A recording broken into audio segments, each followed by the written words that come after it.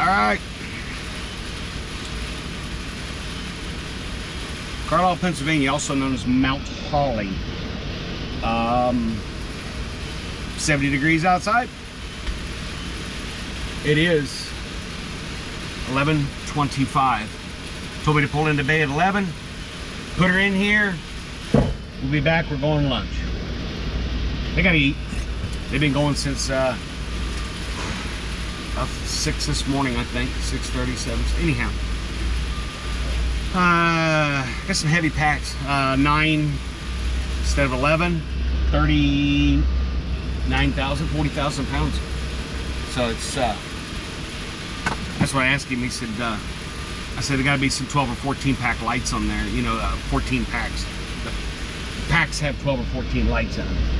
It's just like anything else. If you take, you know, five pencils and you add five to it, it weighs more. So that's the way it works. You get you get them in even numbers.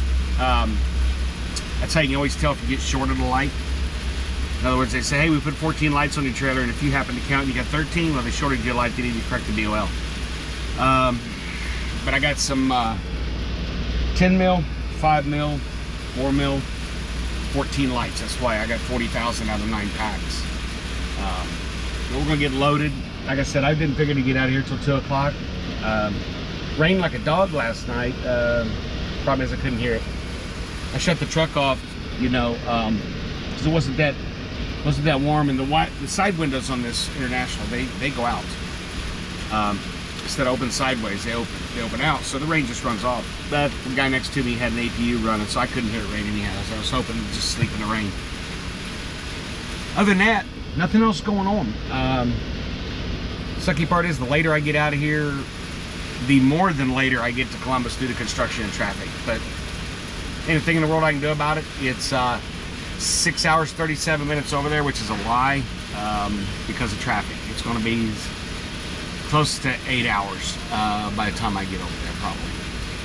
And nothing you can do but roll. Other than that, we're ready to go. Got my Ohio State Buckeye shirt on. Don't even know how they did this weekend or last weekend. I just I've been elsewhere, but I did see the Cincinnati Bearcats whomped on Notre Dame.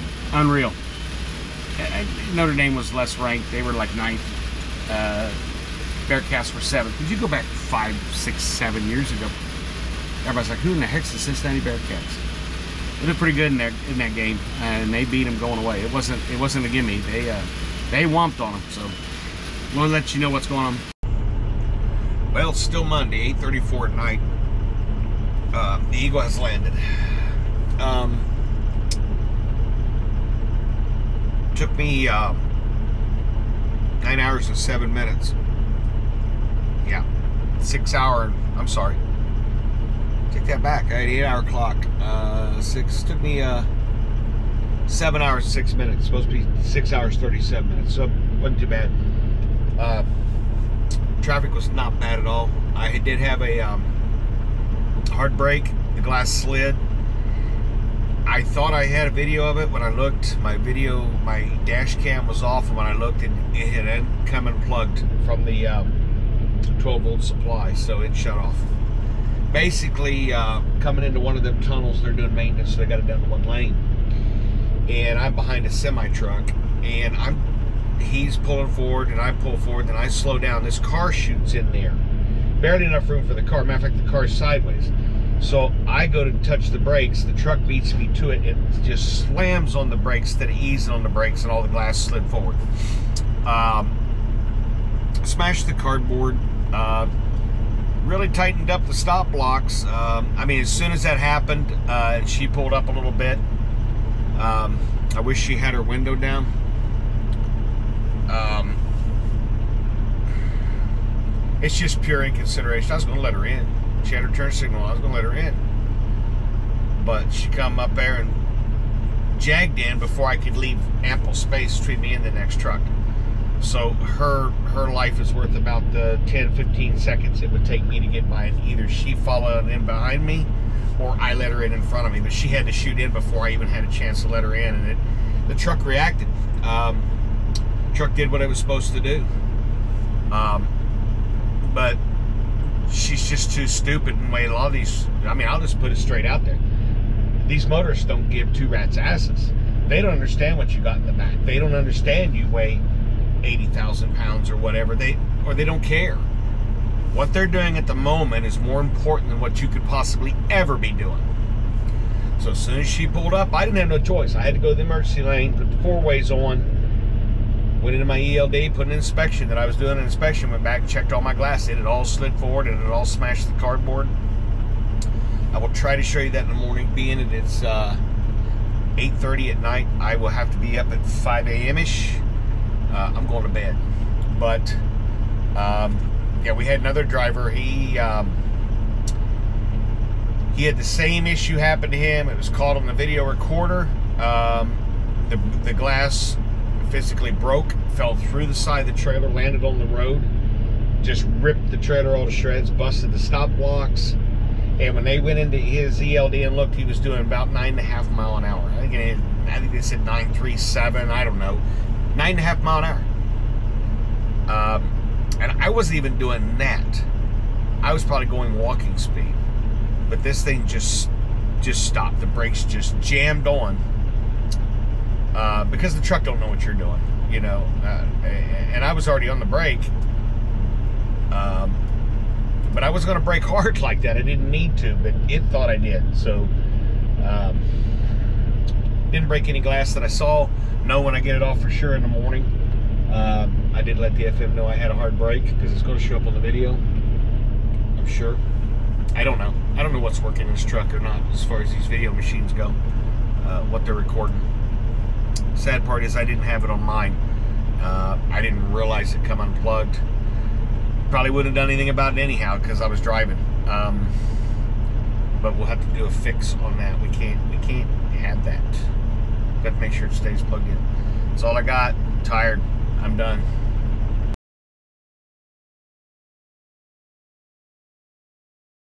All right, I want to show real quick the difference. I'm getting rid of this piece because it's been smashed. Um, high density styrofoam, that's this. This is the low density styrofoam we use for stuffing. And there's really no difference, they're not marked. Um, see how fine packed and small the beads are, how big the beads are.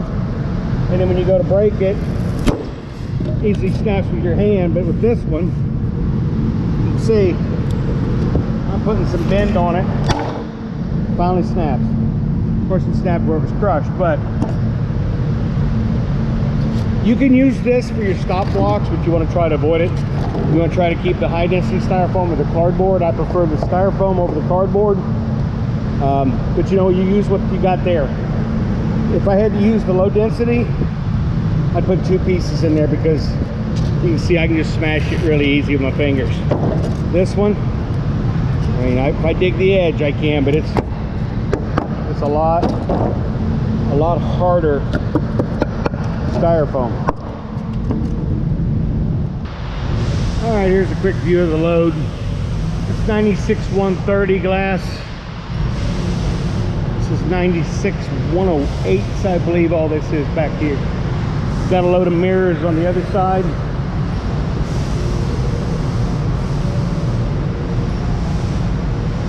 108, 144. Got a load of mirrors right here. The back of the mirror. They turned on backwards. Set it. They set them backwards. Um, I, and they intentionally spun them, I believe, because you could damage this coating on the cardboard. Now it's no longer a mirror. It just turned into a window. Then I got a 96 130. It's 8 millimeter. These are 10s. You can see how thick this glass is. Those over there are 5s. So I stuffed all that side. I didn't stuff any of this side. It rode pretty good considering I had a hard brake. I got a few lights that have moved, but not nearly, not nearly an issue.